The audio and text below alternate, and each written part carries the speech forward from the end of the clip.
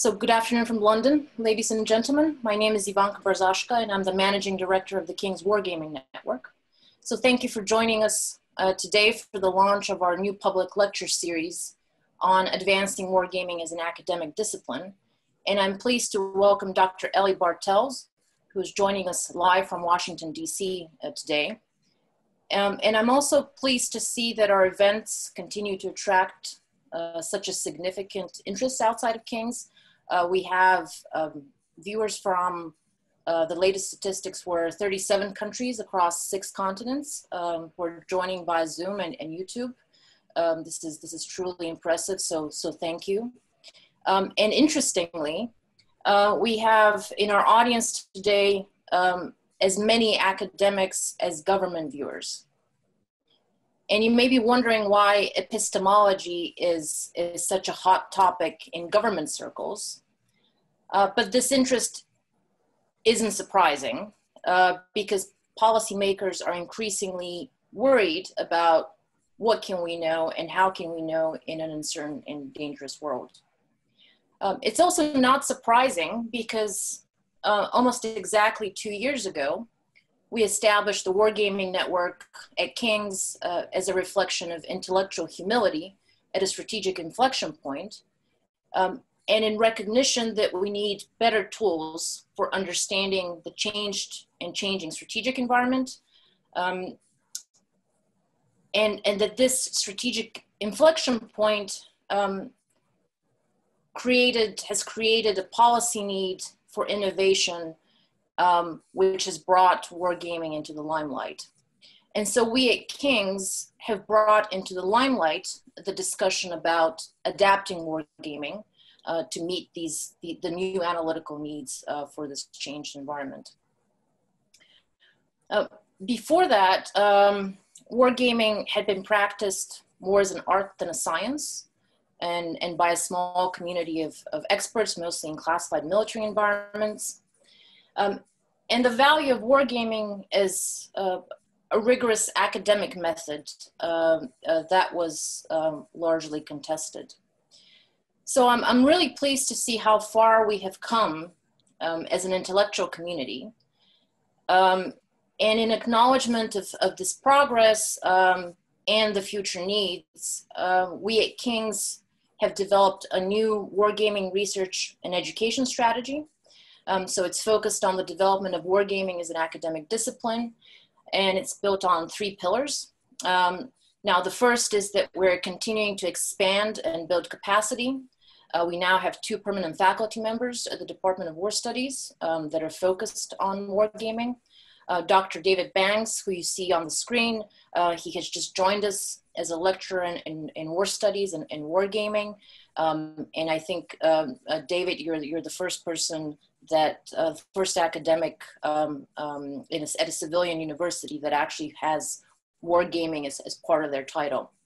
Um, so um, David is, uh, serves as, as our new academic director uh, for the Wargaming Network. Um, and, and many of you know Dr. Aggie Hirst. Uh, she's been promoted to senior lecturer um, as a result uh, of her contributions to wargaming scholarship. Now, second, we're um, redesigning and expanding uh, the wargaming curriculum. Um, and third, we are developing a new research program around two components. Um, so the two components are fundamental research and applied research in wargaming. Um, so the applied research captures the use of wargaming uh, methods to uh, develop and test scholarly theories and, and answer policy questions. Um, but the the fundamental research, um, you know, this is this is the um, uh, this focuses on questions on epistemology and methodology. So today uh, we're launching a new lecture series on developing wargaming as an academic discipline, uh, in part as as part of this effort to advance fundamental research in wargaming. Um, so our, our intellectual community has come a long way in the two years and, and these lectures um, will be featuring breakthrough scholarship on wargaming that advances wargaming theory and, and, and applications. Um, so it's my pleasure to introduce Dr. Ellie Bartel, Bartels is our first speaker. Uh, she's the co-director of the RAND Center for Gaming. Uh, she's also an associate policy researcher at the RAND Corporation, where she specializes in national security policy analysis uh, in, in gaming.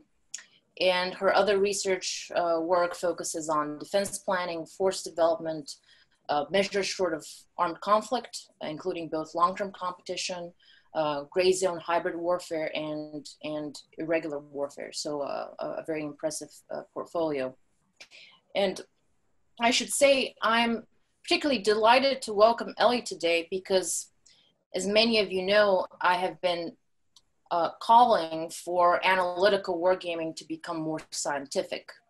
And scientific means wargaming needs to be systematic, public, and, and rooted in, in producing uh, worldly knowledge. And this is essential if wargaming is to um, inform national security and defense policy. So Ellie has, has heeded this call and produced what um, I believe today is, is, is the most comprehensive account of epistemology for policy gaming as part of her PhD dissertation at RAND. And, and so please join me in, in welcoming um, her to King's virtually. Over to you, Ellie. Thanks so much, both to you and to the rest of the, the team at King's. It's been really amazing watching how the network has built over time and seeing the work that you all have done um, to, to sort of further this. Um, I'm just pulling up my slides now, so give me just one moment. All right. Hopefully that's all sharing for folks. Um, great. Well, you know, I'm, the work I'm presenting today is, as Ivanka mentioned, a piece of the broader set of research I did for the dissertation. Um, you know, while the title sort of harkens to the sort of highfalutin term of epistemology, what I'm going to try to do in this talk is really try to ground that very concretely in you know what what does this term actually mean and why does it matter both from an academic perspective but also from a policymaker perspective um, where i spend a lot of my time. And i think really the point here is as Ivanka has sort of alluded to, how do we know whether games are telling us something useful and helpful, not just as the, the game designer, not just as a participant in the room, um, but as someone who wants to come in after the fact and consume the findings of games? How do I know when a game is reputable? How do I know um, what context I can apply the, the learning that I've had from a game? Um, and when do I need to maybe be a little bit more skeptical of what's going on? All right, so you know, the, the bottom line up front here, um, the, the argument I want to make today is that when we're doing games for research, um, we need to make sure that we're aligned with a, a, scientific logic. And there's more than one scientific logic available to us. Um, there's different ways of thinking about how to, to work that in. Um, so I don't think that this is a, a thing that's a rigid constraint on us. But I do think in order to be credible, we need to have a logic that ties from an understanding of what types of information we're going to produce um, and why the game we've designed is capable of producing that type of information. And that when we can be systematic and grounded in this type of logic, it's going to be easier for us to be credible um, with ourselves, with our peers, and with the consumers of the information that we're generating in games. So most of what I'm going to cover today is what I think some of these logics are, um, and then how, how we can actually think about starting to apply them into our game design choices to try to make this a little bit more applied and a little bit less um, sort of esoteric in its tone. All right, so first, very quickly, um, just to kind of establish what what I'm referring to when I say game or war game, I'm going to tend to default to using game rather than war game, just because I find that term to be a little bit more broad and inclusive. Um, but I think of games as being a, a collection of tools that situate between um, three other methods that are perhaps better known um, to folks and so I think make for useful reference points. So on one hand, we can think about comparing games to modes of expert elicitation, whether that be interviews and focus groups and workshops. Um, and we can think about the, the sort of key difference here being that, that while both are interested in um, the expertise of, of humans, right? We're talking to actual people. Um, where in a game, we're interested in um, placing people into a specific context and having them make decisions. We might not be doing that in expert elicitation to the same degree. Um, so there's there's sort of a what I think of as being kind of a fuzzy line um, between when we we have a workshop where we're asking people for their opinions and perspectives in sort of a more abstract way um, versus when um, we have a game and we're asking people to make concrete choices and live with the consequences of them you know, if we move down to the bottom corner, we can think about the difference between games and models. Um, so often people will talk about games as being a type of model. I'll explain a little bit later why I don't tend to like to do that. Um, but what we can think about the difference here being both of these are interested in thinking about um, systems and how they interact and connect to one another. Um, so within a gaming context, we can think about having that um, synthetic environment um, that allows experiences to be projected. You know, in the case of a formal model, that's when um, we have that same type of formalism, that same um, concrete relationship between different aspects of a system. But where a game puts a lot of focus on the role of actual humans interacting in that system, um, a pure modeling and simulation is is only formalism and doesn't have the, the player in the loop. Again, this is a blurry line, right? It's totally coherent to talk about human in the loop simulations um, which are which are sort of right on that median line. And then a third category of activities that I think relate to games, and, and in fact, frequently um, the terminology gets mixed up between the two of them, are military exercises, right?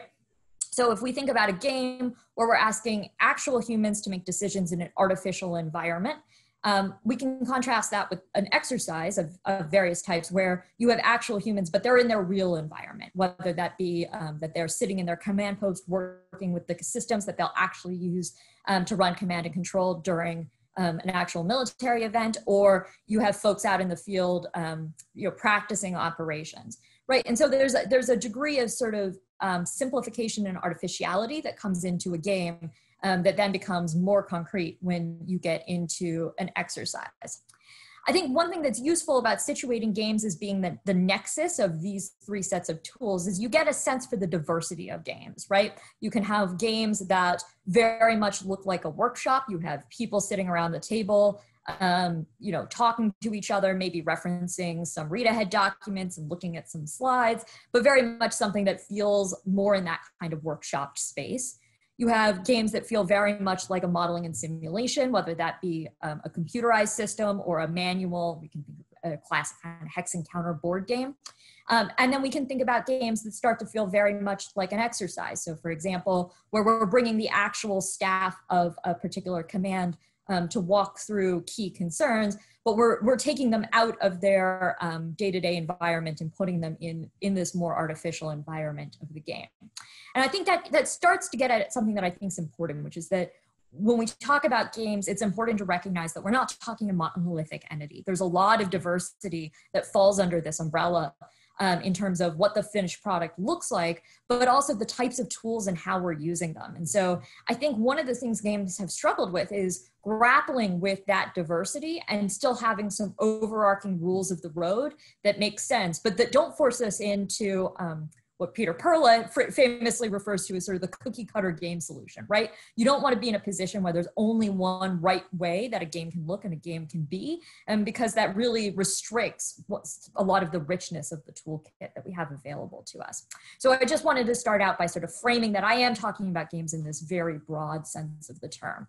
I should also mention I'm going to be tending to talk about games in defense context, but almost everything I say applies into other types of gaming. So for example, you know, I think King's was really commendable in putting forward work on um, what we know about pandemics from games, right? So thinking about that broader aperture, and that's part of why you'll tend to hear me say hear me say game rather than just war game, is to make it clear that I am talking about that broader suite of problems. All right, so you know, having situated sort of what I'm thinking of when I'm talking about a game, I want to make a distinction here between sort of two broad purposes that we tend to be working with um, when we're thinking about games.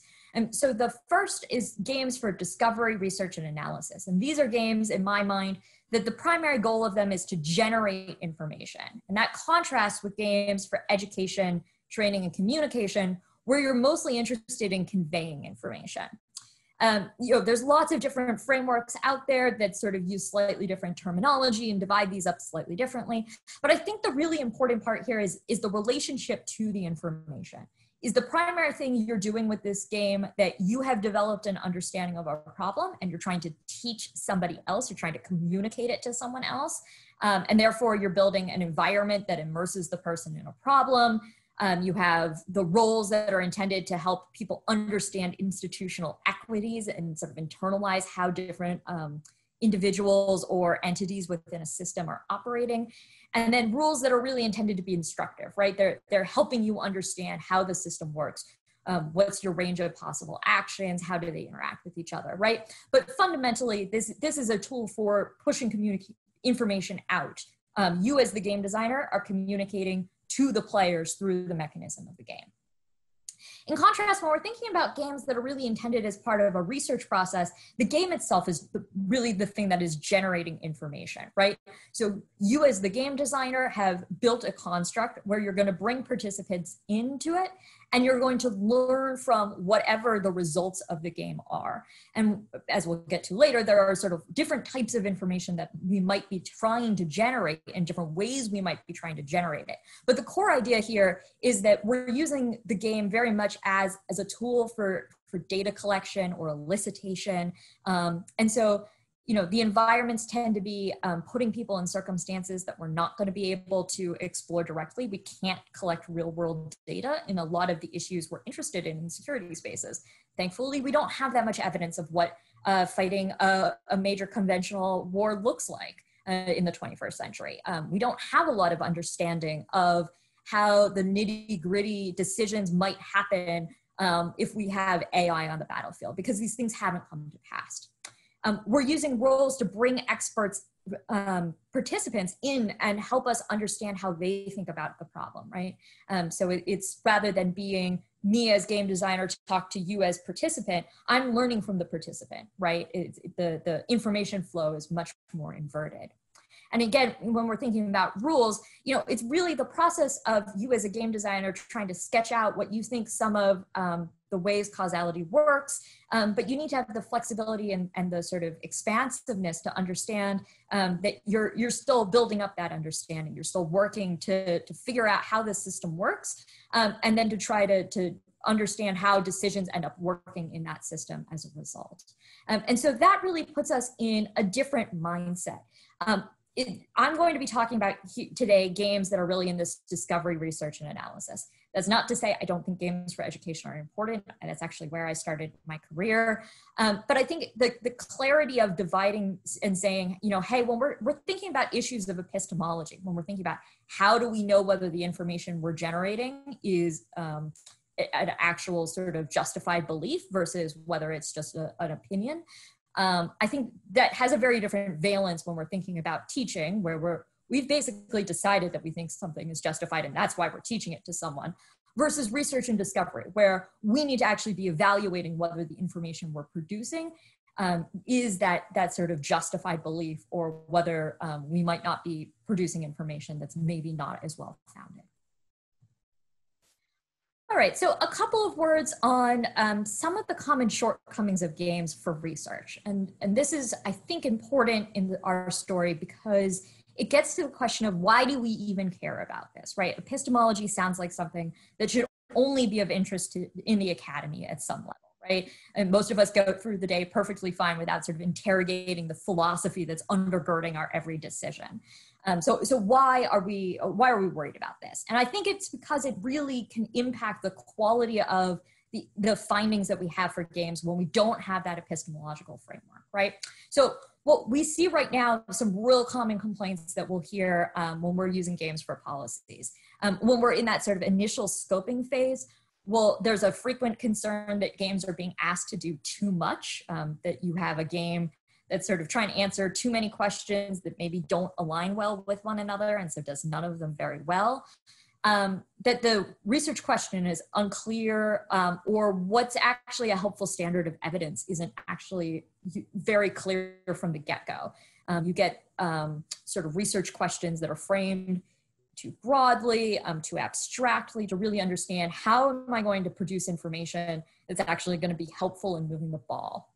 Um, or we just get questions where um, it's a perfectly valid research question, um, but there's other analytic tools that are more appropriate than a game is. Um, and what we're seeing sometimes is that you know people want a game because they saw one that worked really well in their previous job or because they're trendy and they want to to try to um, capture some of that energy and you know th- those are all laudable things that games do but it's important to be careful that we're saying okay you know is is this actually the right tool to be using for our research?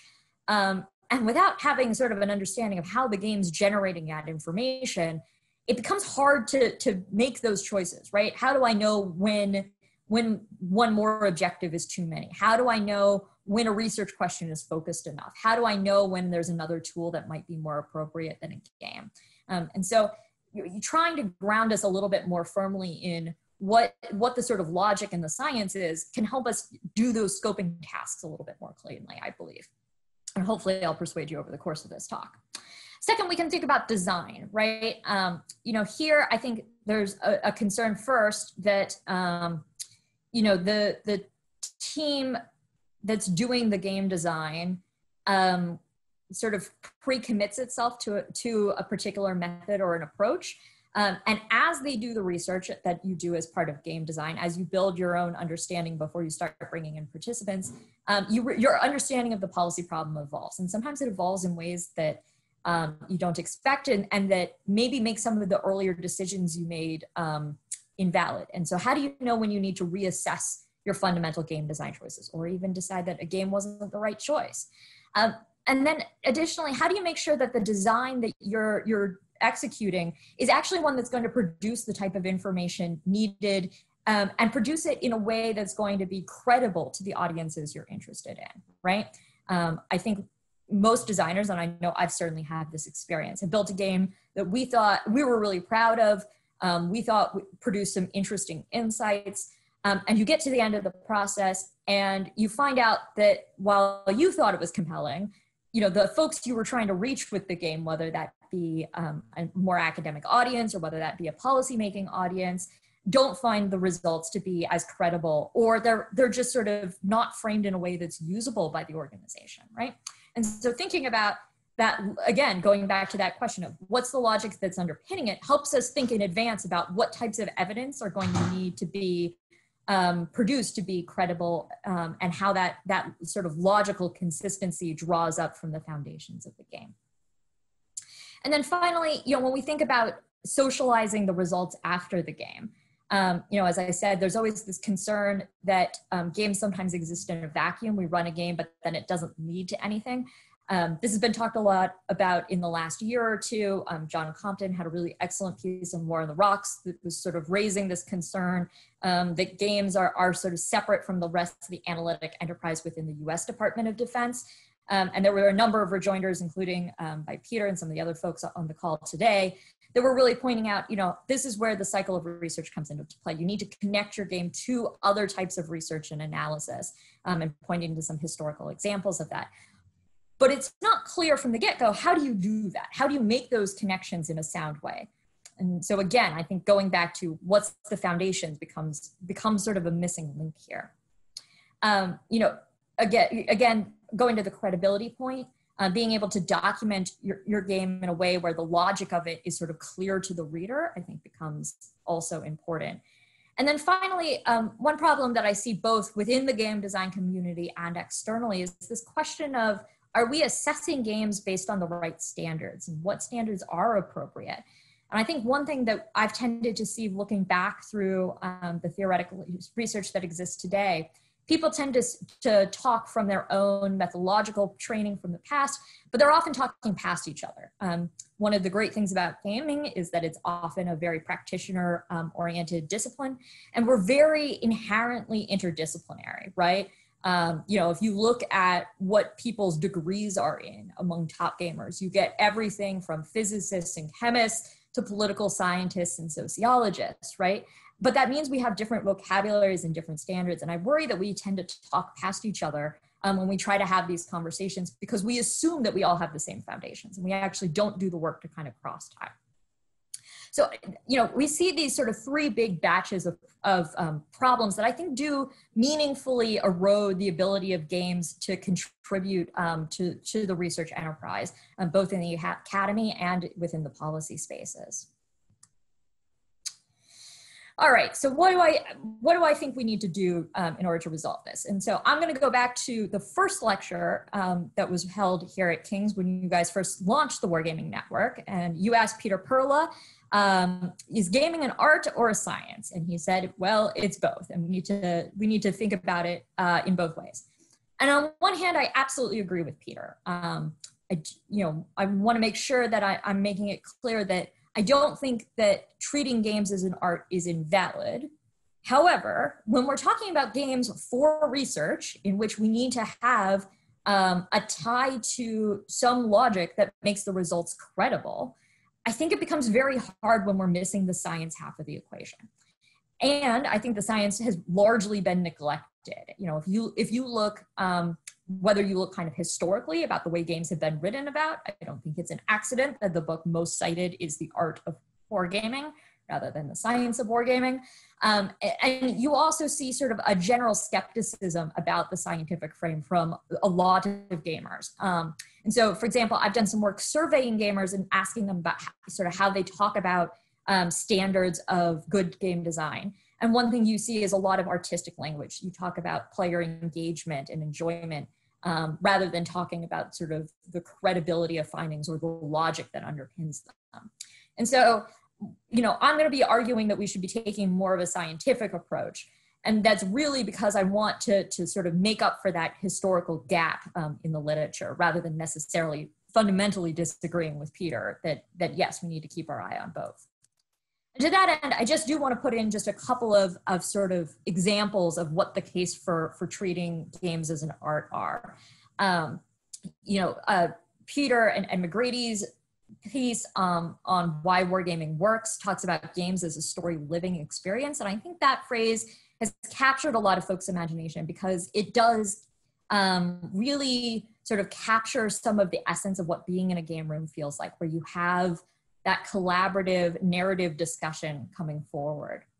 Um, I also really would recommend Ed's recent piece in War on the Rocks from last year, um, where he talks about getting the story right on gaming. He talks about what types of stories um, games tell.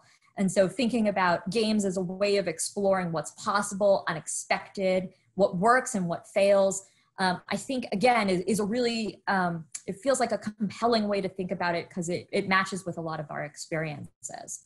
And we can also think about some of the, the more academic work that's been done, thinking about games um, as sort of spaces of play. Um, and so thinking about games as a, even a ritual space that allows types of activities and experiences that you can't have um, within sort of your traditional button down day job, where you're open to exploration and to experiences I think these are all absolutely true. Games do all of these things. Here's the problem. When we talk about art, we are fundamentally talking about something that is at a pretty fundamental level subjective, right? There, is, I think we've all had the experience of going to a museum and there's some of the art that really resonates with us, and there's some of the art where we're like, I don't know what the curator was thinking on this one, right? Um, and if you you've ever had the experience of going with a friend and realizing you have completely different taste in art, you know that you can have really subjective responses and experiences.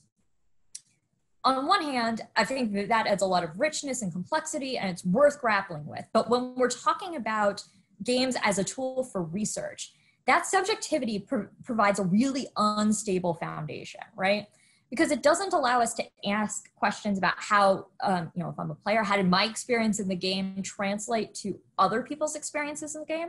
Um, so is what I got out of the game the same thing as the person sitting two chairs down from me?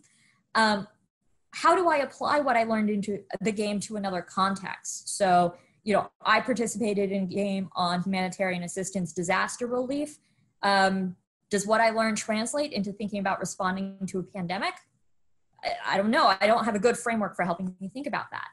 More fundamentally, what makes for a good game? How do I know that um, what what I'm experiencing either um, in the room or um, you know after the fact, if I'm reading the report, how do I know that the, that the information and the results of the game are credible?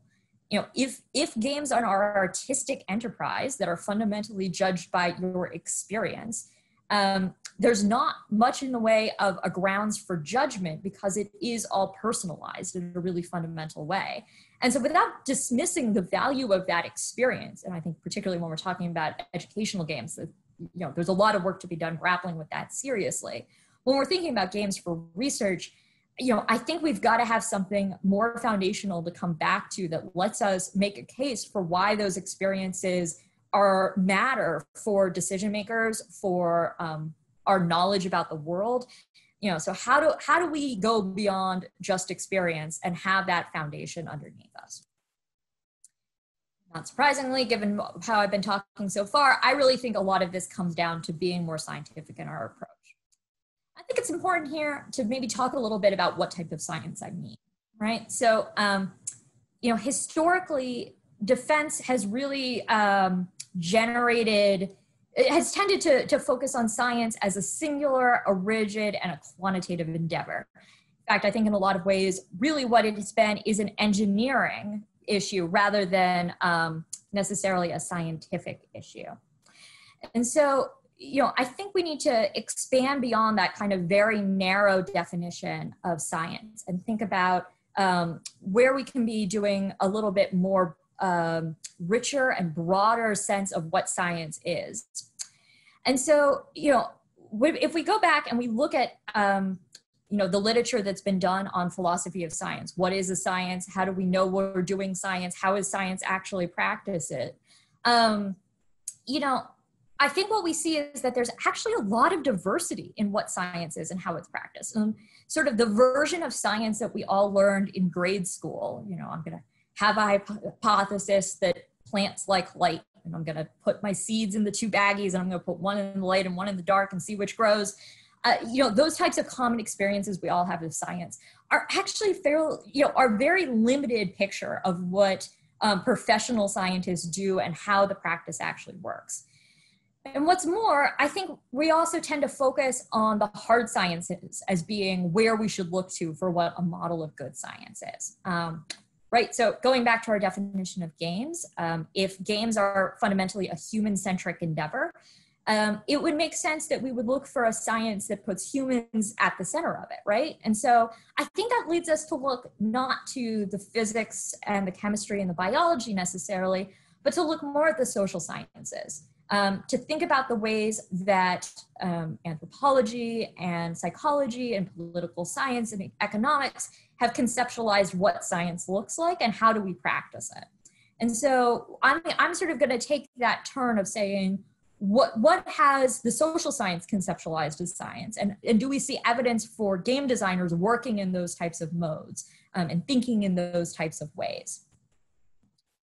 The reason I think that that's helpful um, is that right if the game is generating information in a way that's consistent with one of these logics that are articulated by a version of science um, i think that helps with the credibility right? You can explain uh, the game generated this information this is how it generated it and this is how the way that it generated it is consistent with standard forms of, of science that are um, credited and taken seriously in other areas of the academy. Conversely, how do we know when a game's bad? When it deviates away from that logic, when you lose the ability to, to tie that connective tissue together. And so I think that starts to put that foundation that, that was sort of missing on, from the artistic view underneath game design. All right, so, um, you know, far i'm not i'm not going to try to say that there is any one set of philosophies of science. This is a really rich and diverse literature. Um, but one way of looking at this that i found really compelling comes out of international relations. And so patrick thaddeus jackson has a 2010 work um, uh, that was looking at philosophy of science um, from the perspective of international relations. And, and, it was trying to figure out sort of what are the types of, of science we might see and how might we operate I think what's incredibly important about this work is that it says that there's more than one way to do science, and it puts it into a vocabulary where you can understand what the trade offs and differences between them are. And so rather than, than just sort of asserting there's one science and it looks like this. It recognizes that there's more than one way to do this um, and that they're, they're going to have different standards and different logics and that each can be internally valid. Um, we just need to be clear about where we're sitting. So I think there are three that are particularly important for us to be thinking about um, for research game design. So the first um, is positivism. So this is what most of us think of as kind of the standard scientific approach. We're going to engage in direct observation. So I, um, as a researcher, have the ability to kind of stand outside the world and observe what's going on um, objectively. Um, and then, but we can do that both through direct observation, meaning literally my eyes watching it, but we can also use a whole host of other measurement tools to do that. And that we're by being able to see um, the, that process unfold of how inputs and outputs interact with each other i'm able to establish causal relationships right? If i have more of x i get more of y that kind of thing right? And the goal here is really to come up with those generalized truths or rules right? I want to have a law that i can move around Now, I very rarely get to that point, right? More often than not, I'm still wor- working in the world of theories, but that's really where the end state is. I'm trying to discover an objective truth that can be applied within sort of a defined range of contexts.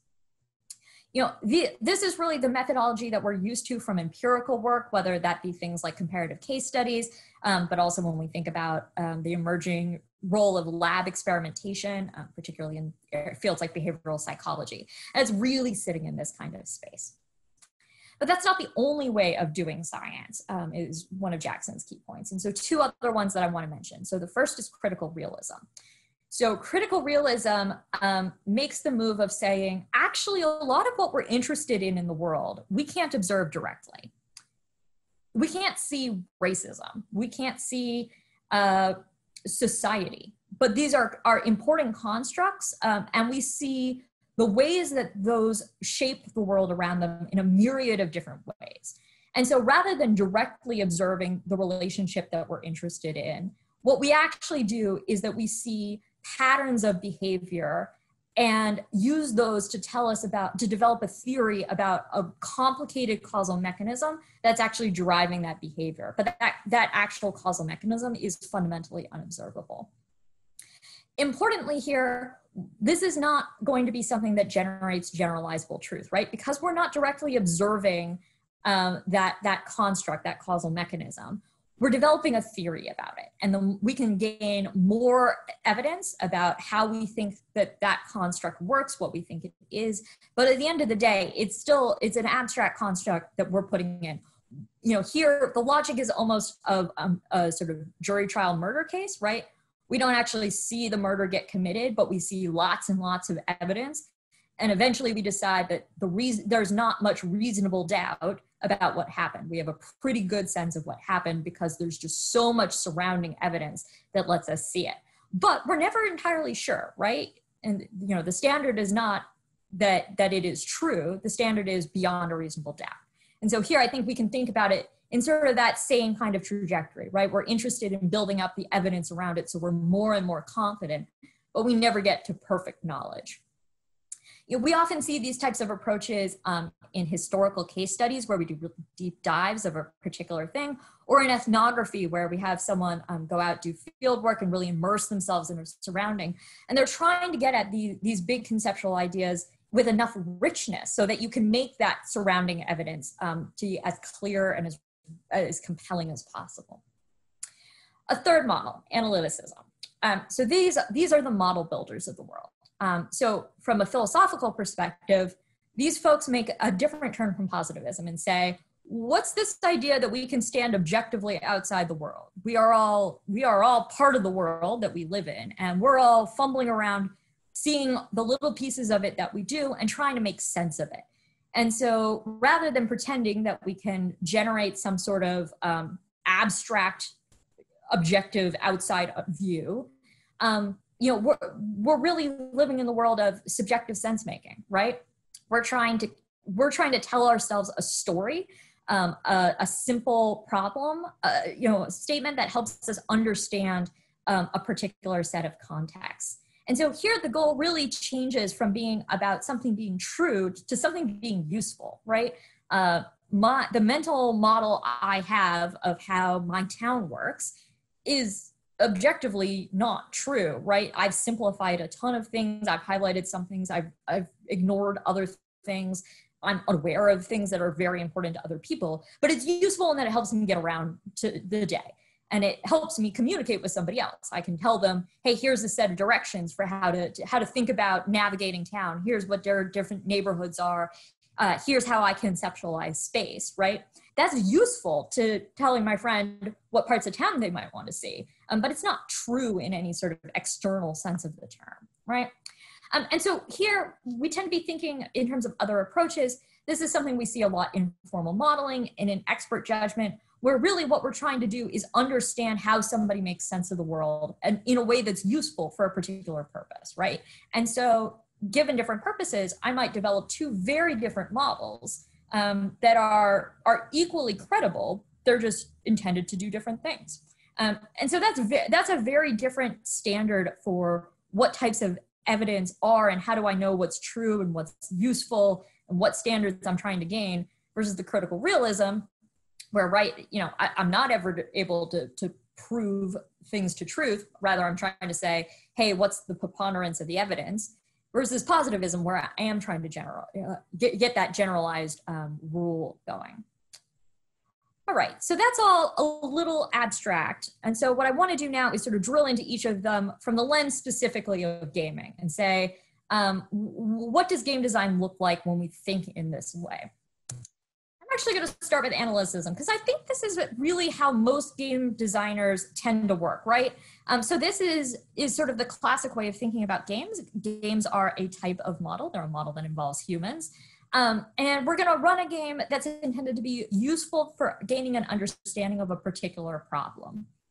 So really my goal here is um, that I'm going to try to understand, get an understanding and appreciation of how I think a system works, both from my own experience of, of moving through the world, but I'm also going to talk to lots of other people about their sense making. And I'm trying to incorporate that into my own model to have something um, that's sort of as useful to as many people as possible. And so the key task from a game designer is really to distill the key aspects of a problem in a way that represents reality to, to the degree needed to be useful, right? And so as I move through the game design process, I'm going to, to find out the different different aspects of a policy system and I'm going to decide, yeah, I don't think that's that critical for the question I'm asking. I'm going to really simplify that. Oh no, this is really important. And so I need to make sure I'm representing that really well, right? I think for those of you who have done game design, this may start to feel really familiar of the way you tend to, to think about um, that initial set of decisions that you make when you do game design, where you're, you're sort of feeling the elephant and trying to put the pieces together in a way that's useful. I think the important caveat then becomes that what this game is going to generate is a useful understanding, um, but it's one that's very self contained to the actual game and the purpose that you ran the game for if you've built a model of um, you know pandemic response that's really looking at sort of well what would happen in this particular set of, of activities based on the the experience and sense making of these particular actors you could turn around and go to a different set of stakeholders and end up with a very different understanding. And the, your original understanding wouldn't be more or less true than your the second understanding. They're just different because of the different context and the different actors and so you're really using the information in a different way um, than some of those other frames that we talked about. And, you know, I think really how I tend to think about these games from a research perspective is that these are games that help us organize our thinking about our problem. They help us make sense of the complexity. Um, it makes them incredibly valuable when we're starting out a line of research and we're trying to sort of get our hands around a big, complicated problem. Um, they can also be really valuable in trying to understand you know what are what are the main debates? What are the questions that are still unanswered? Because we see them come out in different people's sense making right? They'll emphasize different points um, compared to one another because of the differences in their own understanding and context Right. So when we think about building games this way, right, we're really interested in bringing in that group of participants as well as the, the members of the design team to try to engage in that collective sense making. And so, you know, I think of these games as, as really being a balance between providing enough structure that you can direct, you can make sure you're focusing the conversation on the right problem for the right purpose. Because remember, we want to be useful for a particular purpose. And if we're not sort of really honing in on that, we might end up sort of off the mark because we're being useful to some other problem. But at the same time we need to have enough openness in the game system that we can we can learn and experience and incorporate other people's understanding. Um, so we have the space to engage in that that sort of uh, narrative processes of sense making. And so i think we tend to think about designing environments that are really intended to focus player attention. So these are games where i think we spend a lot of time thinking about the scenario um, because that's really what's going to, to do the work of capturing the player attention and drilling down on what that, that particular area of focus is. Um, we tend to play, spend a lot of attention not just to who the right actors to represent in the game are, but who the players that we're actually going to bring in are. And I think that's because so much of what we're doing when we're sense making is talking to, is is the narrative work of understanding you know what's the story you tell as an expert in this area? What's the story he tells as an expert is this area? How do i understand that with my within my own process? And then when we're designing rules for these games, I think we're really focused on making sure that there's the space for unexpected and new things to come in, right? The whole point of having um, these these sort of actors with rich experience is that we're we're still trying to incorporate new parts of of the problem and really understand them from different perspectives. And so you need to make sure that the rules are sort of open and flexible enough um, that you have the ability to do that. And I think that this model that I've just talked out is actually the way I would say probably the majority of game designers think about their work, right?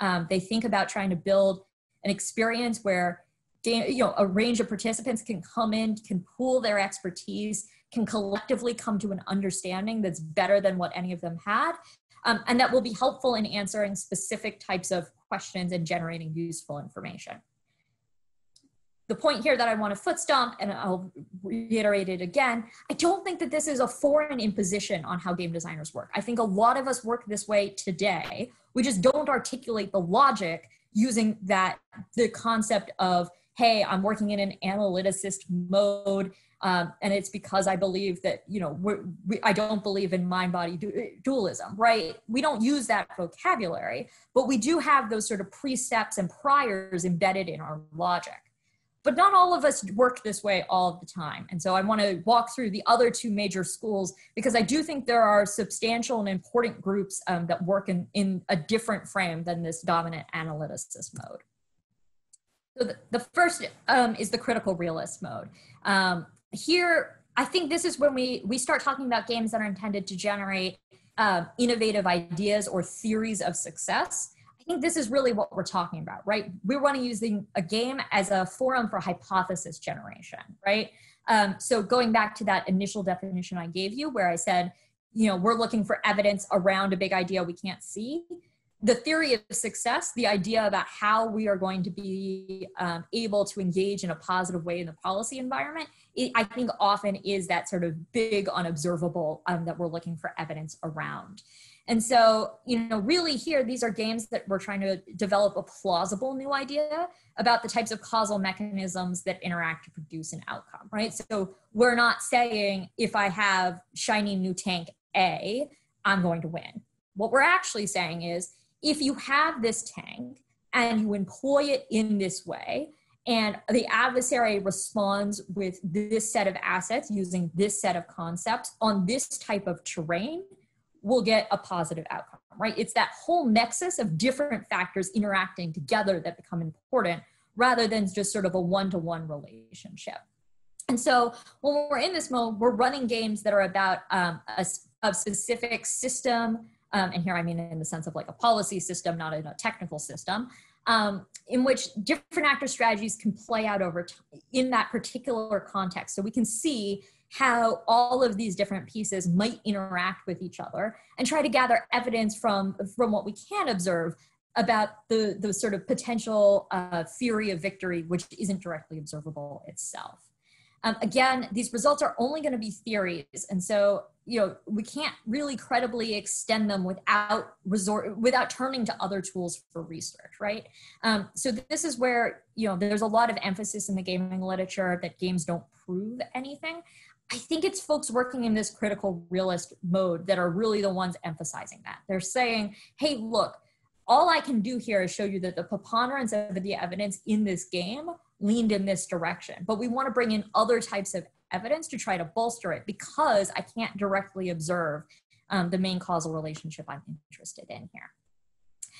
But I think these are still incredibly valuable games, right? They help us see potential new ways of operating. They help us get some best guesses right? You know, if we're standing from the outside and saying, what are all the ways we might possibly use a new system, that becomes really overwhelming. If I narrow it down and say, okay, hey, you know, there's these three promising ideas that we think are sort of plausible um, approaches, that becomes much more tractable to bringing in other forms of analysis that might be more expensive in terms of time and resources, um, that might simply just be very difficult to execute. Um, and so that work of sort of necking down to some interesting use cases, I think is really valuable. Um, and, and it's a mode we work in fairly frequently, right? You know, here I think the design really becomes about generate that that sort of how do we design a game that sparks new ideas, right? And there's a whole literature on games for innovation that I think by and large are very much in this critical realist mode, right?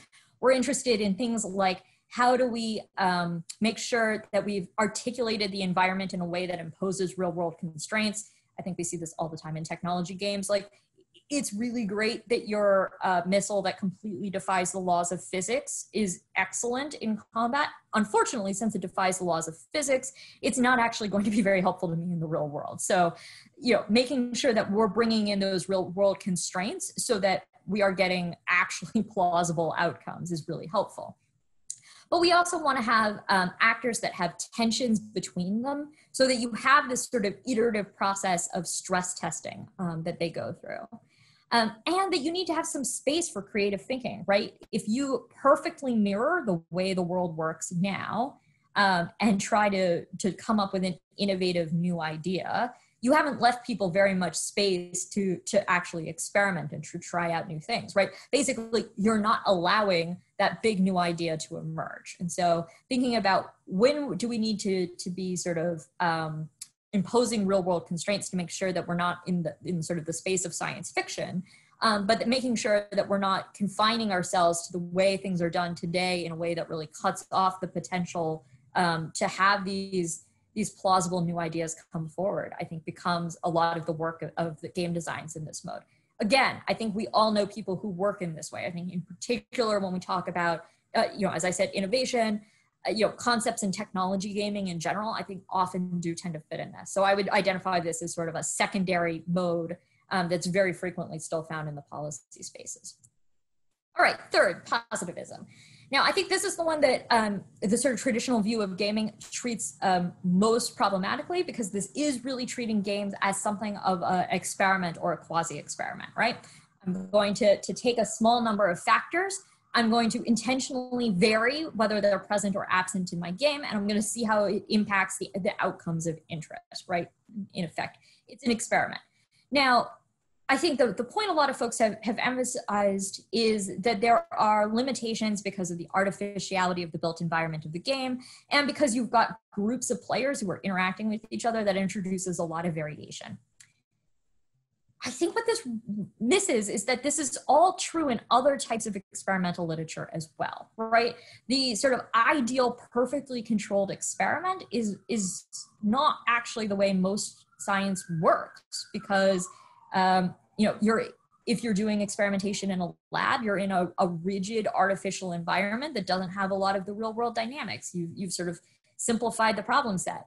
Um, if you're looking at real world historical events then you do have a lot of uncontrolled variation. And so there's actually quite a lot of literature out there in the positivist frame about how do you how do you think about these problems given how do you make these comparisons in ways that are justified when you have these types of confounding issues?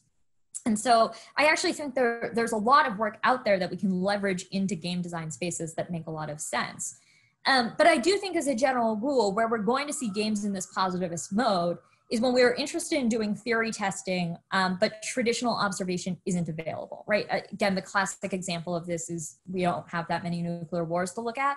If we're interested in thinking about um, how different aspects of, say, a, a new weapon system might impact outcomes, we don't have a historical case record to go look for. And so um, this is this is where games become if not a, they're not an ideal you know they're not sort of the perfect optimal way of generating information but they're the best available and they fill an important need and so while we still want to be modest about the extent to which we still have fundamental uncertainties because of um, the potential for artificialities and confounding um, that's not to say games can't generate credible information that progresses our knowledge in these areas you know, so I think really you do see um, positivist design in policy spaces, though I do think it's a minority. Um, you know, I think often where we tend to see it is cases where we do have sort of a, a, clear option one, option two that we're interested in testing.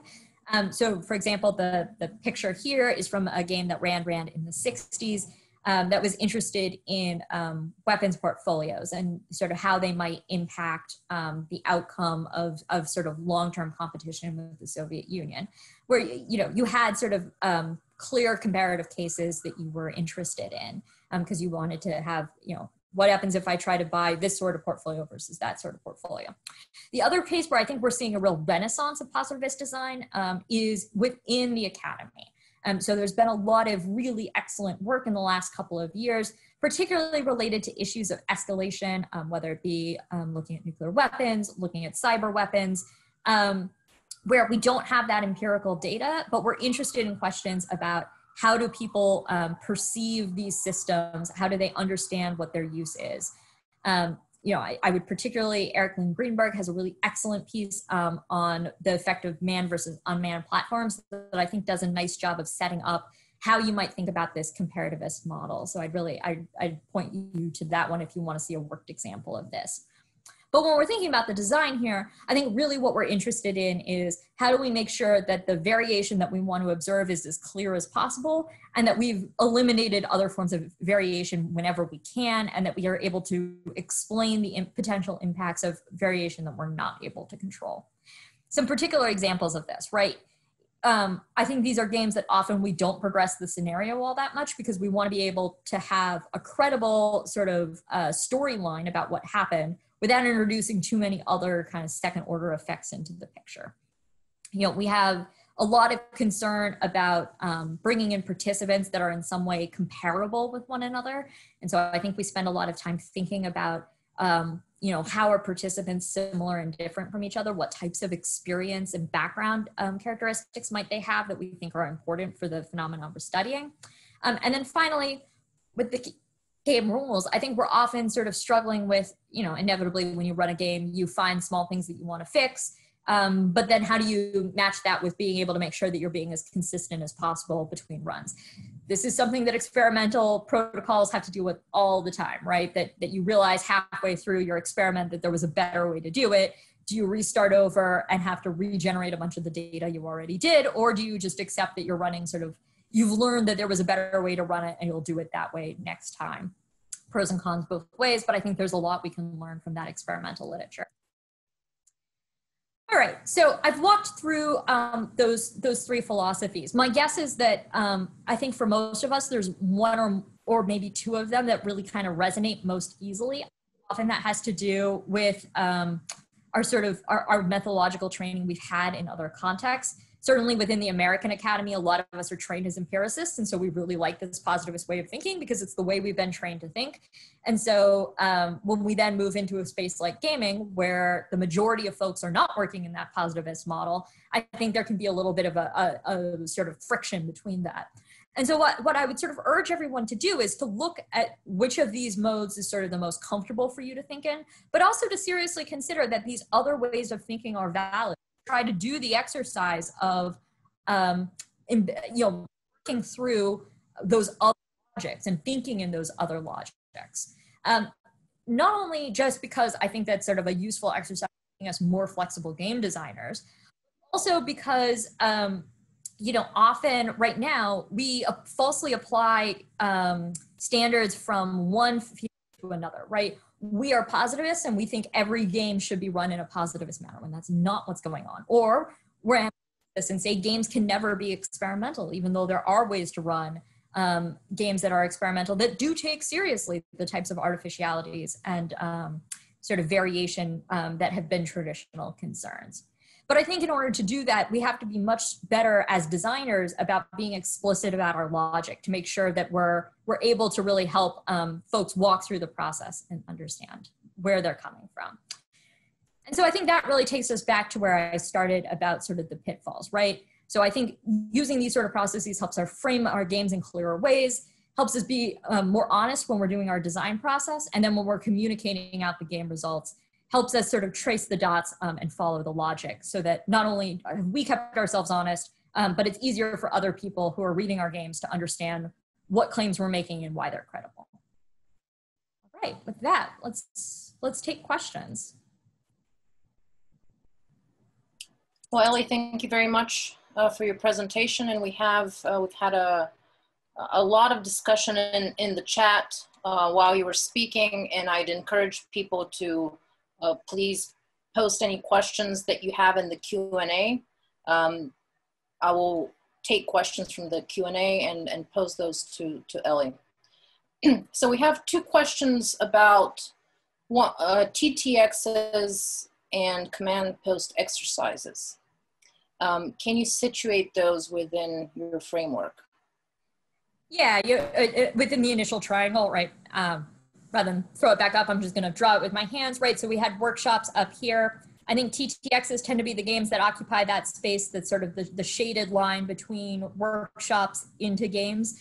Um, so sometimes when we say a, a, tabletop exercise, what we really mean is that it's a workshop. We're, we're not actually driving all the way into forcing players to make a clear decision and then see the consequences of that decision. Um, then I think they tend to you know, in my world, they would sit on the workshop side of the line. Um, if they are actually a point where you are pushing participants to make a decision and then see some level of consequences, even if it's just, you know, the participants as a group talking about what those consequences might be, I think you're on the gaming side of the line. I think the reason we like using TTX so much is because it sits right in that liminal space. And so when we have a project that that is sort of has characteristics of both, um, TTX is a nice term that lets us lets us straddle the line. I think command post exercises are very much kind of the same thing, sitting um, on that bottom corner, right, where um, you know if you're if you're doing command post exercise where everybody's sitting at their terminal, walking through on their actual systems. Hey, here's how we would be responding to this sort of thing. I think that falls on the exercise side of the line. If you are removing them and talking them through sort of more in a rock drill kind of way, I think that can start to slide more to the gaming side of the line. But again, I think you know that that's that is why I think about these as being kind of more spectrums than they are hard and fast lines.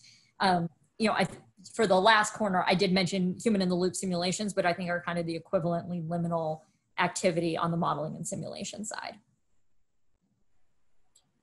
So we have two questions related to hypothesis testing.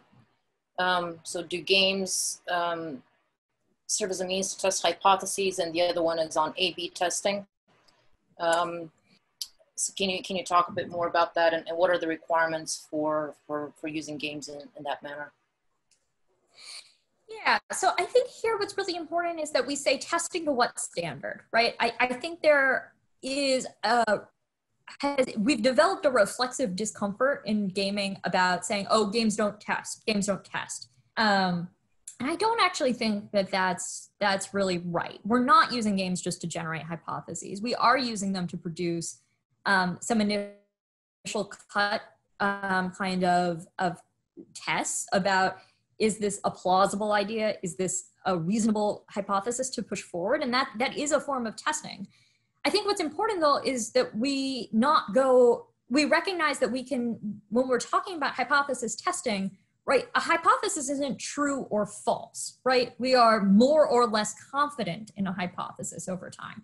And so games add to or diminish our confidence in a particular hypothesis. Um, but that's different than proving. And so on one hand, I, I believe very firmly that we shouldn't be talking about games as a mechanism for proving anything. Um, but that doesn't mean that they don't for, so, serve a role in testing. And so um, the way I talk about this um, for from the more positivist framework, right? We want to be a bit more Bayesian in how we're thinking about this, right? We want to think about updating ourselves and say, hey, our hypothesis is an initial cut. We're going to get a better answer based on the evidence that we're seeing, and we're going to continue to improve it, and we're continue to improve our confidence that we're right about it, um, rather than treating it as a black line and white line um, that were either not tested or tested. Um, I think I, I think right it's comparative. So really, what we're saying is be compare you know on a particular. So I think it's important to be clear about what a what you're better on and be what context we're drawing If we're in that service mode, we might be more comfortable generalizing within sort of a, a in that critical list it's much more uncomfortable um, from one content into all right so there's there's a follow-up question to that. I mean, do you think this kind of testing is um, impossible because games are just too expensive, bespoke, or complex? Or do you think there are new ways and tools for wargaming that might allow for a big data approach uh, if you're finding patterns across um, different games? Yeah, so I, I think the first thing I would say is that um, the sort of uh, conception that you need a big data kind of approach, that you need lots and lots of bites at the apple, is really a, a pretty fundamentally positive view, right? Um, if you're in critical realism kind of framework, um, what you're actually interested in is having the sort of richness of context to be able to see um, as much of the kind of surrounding evidence as possible. Um, and so that's a very different way of thinking about what the value of information is. And so um, I, I, I kind of want to push, or at least flag, right, that when we talk about testing as requiring lots of, of iterations, we're assuming a positivist model, and that doesn't have to be. Um, so I think we can think about testing in these other frameworks in other ways. Um, I think then the question becomes you know what's the additional credibility that's you know if we are going to be in a positivist model what's the additional credibility we get from each additional iteration of the game? Um, and there's a number of ways to think about that. I think the common default is to go into sort of a, a statistical mode right where we assume we know the underlying distribution. We're assuming that we're iterating a game a certain number of times and that the central limit theorem will will handle our problems it's not actually clear to me that most of the phenomena we're talking about we necessarily understand any of that. And so i think thinking a little bit more carefully about what the value of iteration actually is and what we're gaining from each additional um, insight is something um, that's actually a, a, current line of research that i'm working on is thinking about um, what are the sort of comparisons in other disciplines. So for example we can think about interviews where we do think there's a value to doing more, but it's very different than the way we think about kind of the statistical value of doing more. Um, or case studies where it's a totally different logic yet again. And so I think being a little bit more eclectic in rather than just assuming kind of that big data mindset um, might actually make more sense with games because I think the data that comes out of games is more equivalent to things like interviews or case studies where we are generating um, rich data rather than these sort of singular data points all of that said, there are efforts that are working more in that big data mode. Um, so the project on nuclear gaming um, at Berkeley has their project Signal that's been run hundreds of times and is working with sort of much larger than traditional iterations. And so there is work going on that way. So we, we have a number of questions on on choice in war game design. Um, you know, there's there's too much choice when designing and implementing games. Um, so, and, and that creates different trade-offs. So how do you, how do you decide? How do you connect um, research purpose to game design? Yeah, so I, I hope that part of what these logics are giving you is some indication about what might be a good choice versus a bad choice, right? So um, let's stick with the positivist one just for a moment because we were just talking about it, right? So um, when you're designing a positivist game, um, if you do think it's important that you run it a lot of times because you're interested in some sort of statistical notion of validity, bearing you know whether whether you should do that or not different question but let's let's say that is that's the logic you want to use um, that argues for a couple of things. You're going to have to run this game a lot. So it should probably be real simple right? Because if it takes a long time to play it's going to be hard to generate enough data. Um, you probably want to be fairly uh, constrained in terms of what you allow players to do because you want to have comparable choices. And so if you're going to convert your game data into um, sort of relatively, you know, they made one of several options. You want to keep that list pretty finite, or you're going to have real problems processing your data on the back end. Um, you might think that there's value in having the scenario be more abstract because uh, you want to have it put in front of a broad range of people and you don't want to be worrying about what uh, information they might be bringing in because they happen to be experts on Russia. So we're going to call the country country orange and we're going to give it sort of abstract characteristics that don't link one to one with any particular country so that I don't have those sorts of baggage, right? So it allows you a, a sort of thought process when you're making those decisions to rub up against the, that sort of infinite set of choices that you have available to you. Um, at the same time i don't what i don't want to suggest is any of these logics are cookie cutters right? They still leave a lot of space for choice and i think in general that is a good thing right? Why games are are so powerful and so rich is because you can can assemble them in so many ways. And so i really worry that um, if we if we treat it as sort of hey, hey this is a um, sort of menu of choices that you can only make these couple of choices you really miss a lot of the richness. But instead, I think what we should be doing is talking through hey, what's the logic? How well does the choice I'm making line up against it? Because the reality is, games are things that have to happen in the real world, and there's always logistical considerations that come into play that limit some of the choices you might have ideally made. Um, and so that's going to make some of your choices for you too. And I think we need to be honest about that and, and treat that as as sort of part of the process. Um, so I think that's probably an unsatisfying answer to your question. Um, but but the answer is I think it. I hope this helps guide some of those decisions and choices and tells you which ones are better and worse. But at the end of the day, you know that's why they pay us the big bucks is because we do have to make those choices. So can you talk also a little bit more about the the time and resource implications for each of these uh, schools of thought? So we have a question that hmm. says, you know, to design positive games, more time and resources may be, may be needed compared to those designed for analysis or critical realism um, perspectives. Um, do you see resource implications bearing on, on that choice as well?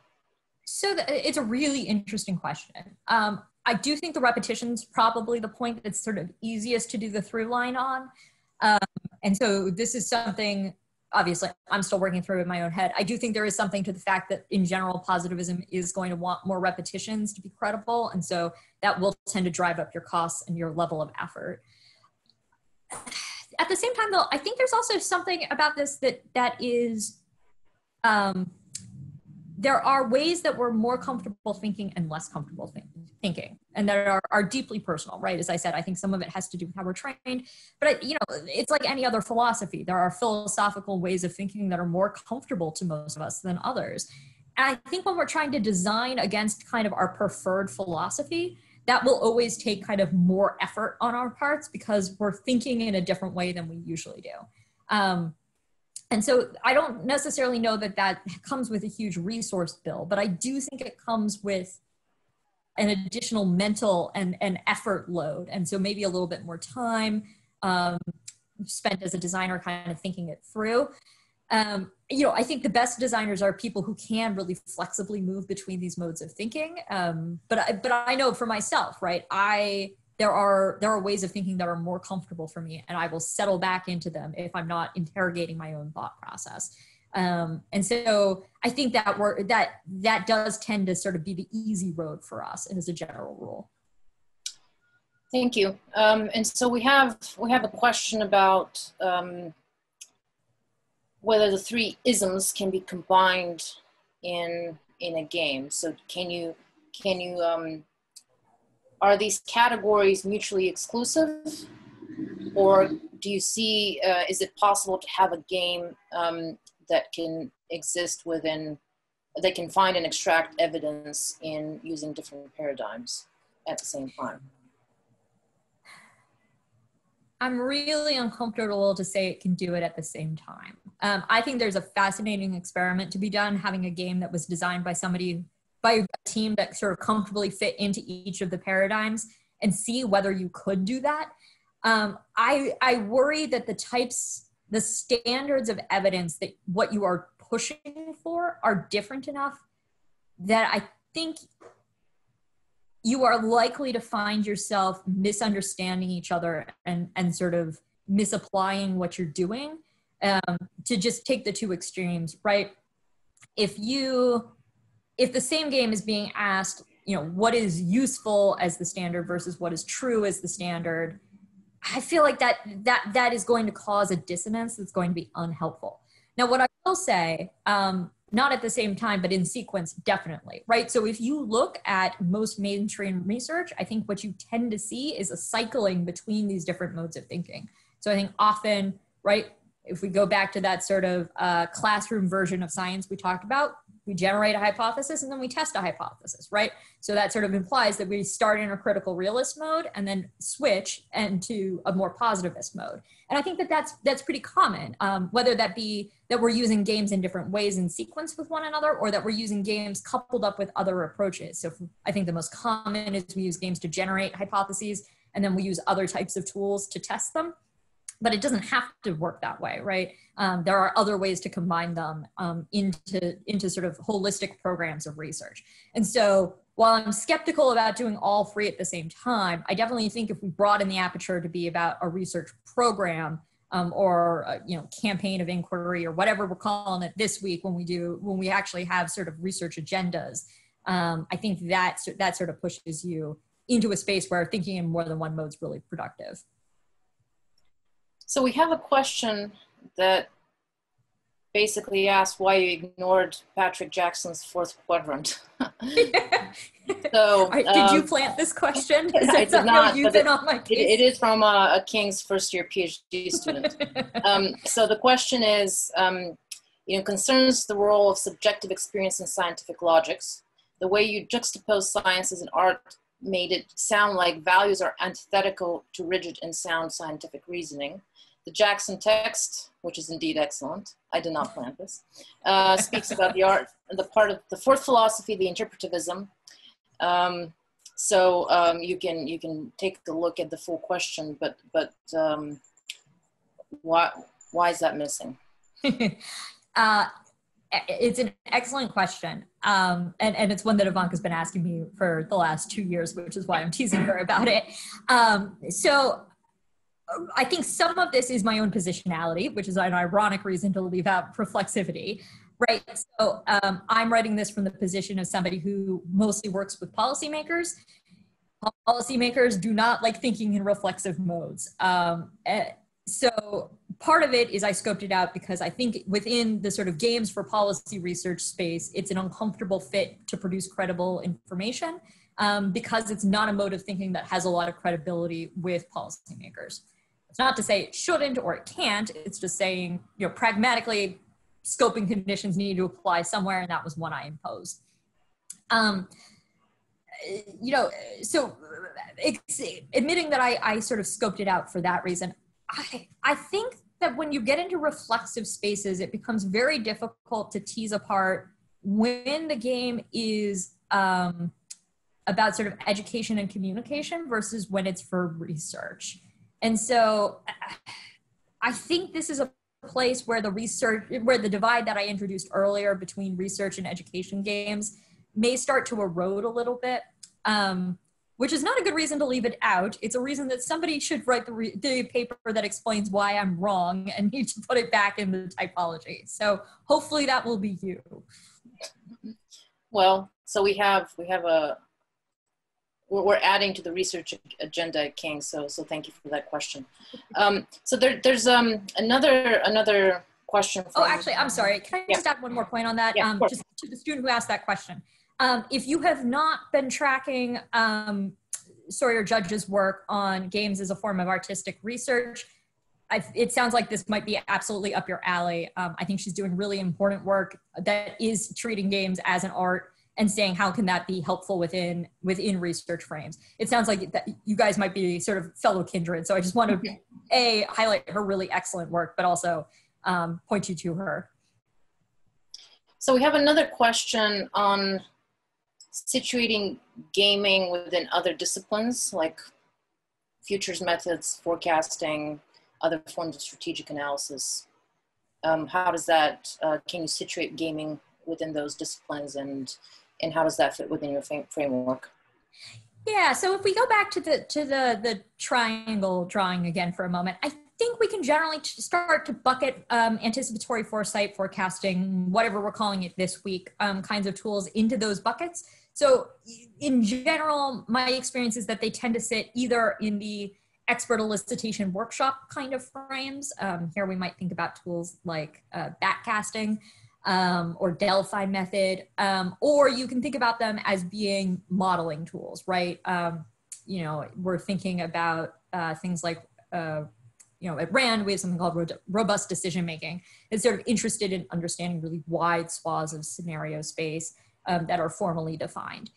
And so I, I think in general, we see that same sort of um, kind of relationship where games definitely do fit into that suite of tools. Um, there are are games that are explicitly used for these types of um, forecasting kinds of, of techniques um, but then there's also lots of things that look and feel a lot like games and sit somewhere in that kind of liminal space we were describing um, and so I, I think it's a kind of natural part of that toolkit So once you've decided on your scientific logic, how do you ensure that your policymakers, uh, your game sponsors with non-academic backgrounds understand the assumptions of that chosen logic and are able to make sensible decisions based on it?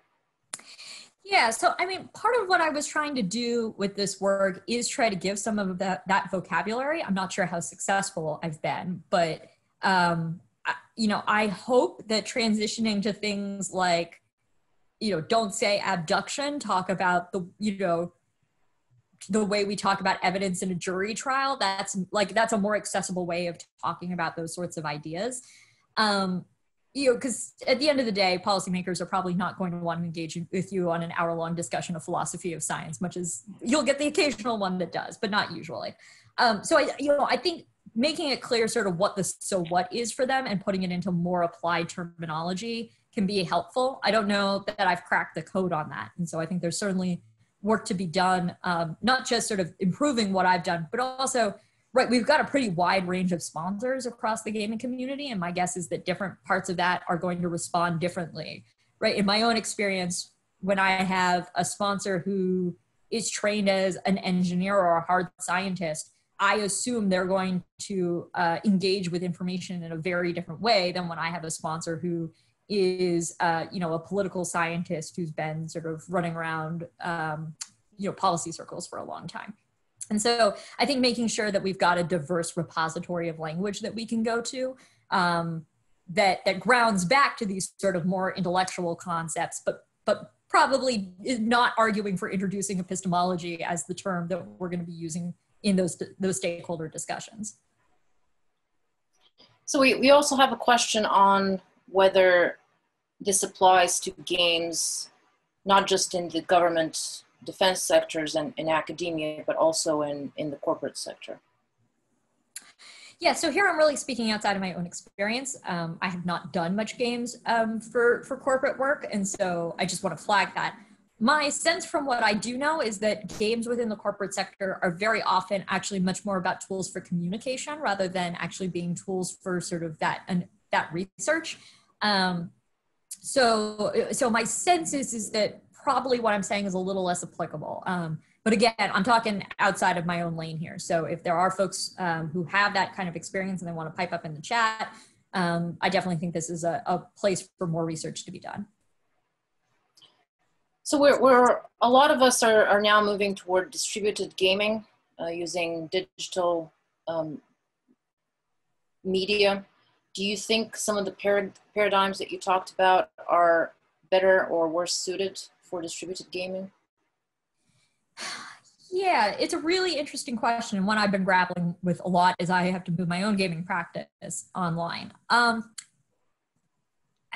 I, I think my answer is mixed, right? I think we all know that communication, when we're, we're communicating over these types of virtual medium, there's friction introduced.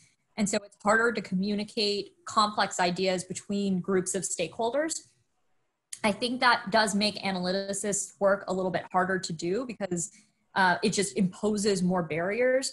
Than when we're in a positivist mode where we've really necked our focus down to a couple of key factors of interest we've structured the communication we need to do a bit more. And so it come the friction matters a little bit less. And so my general sense is, is that you know sort of analyticists are the hardest critical realists somewhere in the middle positivists a little bit easier to, to make work in the digital environment. But i also think there's a lot we just don't know about like what the what the potential suite of tools going forward is. I think what i've seen is right now we're all working within a pretty confined suite of tools because we're sticking to things that are commercial off the shelf because they're stable and reliable.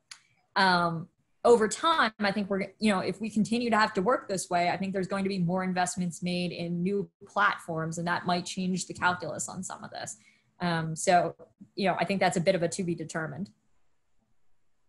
So we just have a few minutes left, and we should end on uh, the topic of ontology. so the your your scientific um,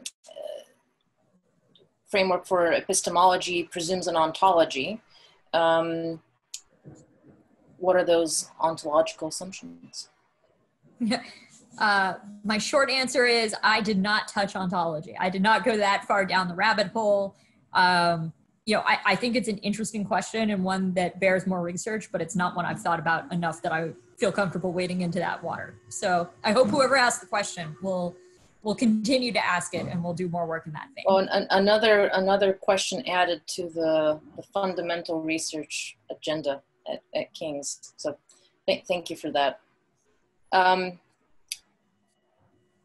so do you think that game sponsors, based on your experience, are aware of the different frameworks for for game for these games that you've you've outlined? Um, you know, I, I don't if they are aware of them, I think they're aware of them kind of intuitively. Um, and I think that's because we haven't been talking in these these terminologies, right? We haven't been making these distinctions, um, particularly to the sponsor community, right? And when we, and I think to date we've given pretty mixed messages. Uh, you know, the the exchange I mentioned a few times in War on the Rocks last fall was really excellent. But I think one thing it highlights is that you know you can get some of the leading lights in the field together and they do not agree on some of these fundamental um, sort of playing field terms. And so i think there's there's some work for all of us to do um, kind of com- deciding on how we we think this works um, and presenting it in a consistent way to sponsors. That needs to be ha- that needs to be done before we can really have an expectation that we can walk into a sponsor's room and have them be familiar with this. I think right now it's really on us as game designers to do that educational work when we're when we're working with um, either a new person or working with someone in a mode that we haven't worked with them before because um, i don't think we can reasonably assume that they've got they've got that framework because i don't think we do. Well ellie thank you very much for joining us today. Um, a pleasure to have you back at king's even even though virtually. Um, we still had some questions left. Unfortunately we've, we're, we're out of time um, for those of you who are interested in pursuing fundamental research on wargaming, please get in touch as we develop our, our program here at King's. Uh, for those of you who have further questions for Ellie, please get in touch with, with her via email. Her, your contact information is, is available on, online, is that right? It is, and it was on the title slide. So once the presentation's posted, if you have any trouble finding it, it'll, it'll be there as well. Perfect. Thank you. And I would just like to um, extend thanks to Anna Nettleship, who is our coordinator and has been um, directing this behind the scenes, as well as James Smith, who's um, been enabling the, the, the digital streaming. Um, and thank you all for joining us and stay tuned for, for the next event.